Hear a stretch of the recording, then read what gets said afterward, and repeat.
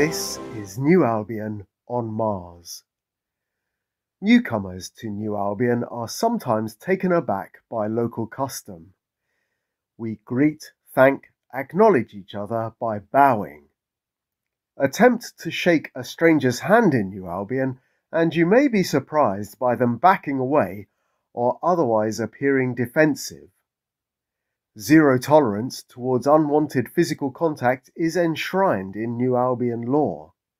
Permission must be obtained in advance, invariably necessitating an explanation for why contact is being requested.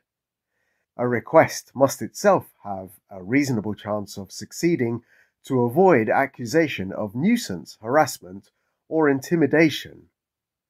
Medics and police will always ask permission and explain why before going hands on.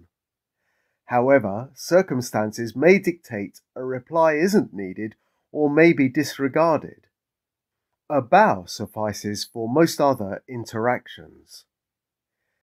There are no rules governing the bow itself, with nods being as common as bending from the waist. Hand and foot flourishes are entirely optional. The important thing is to make your gesture understood by its intended recipient.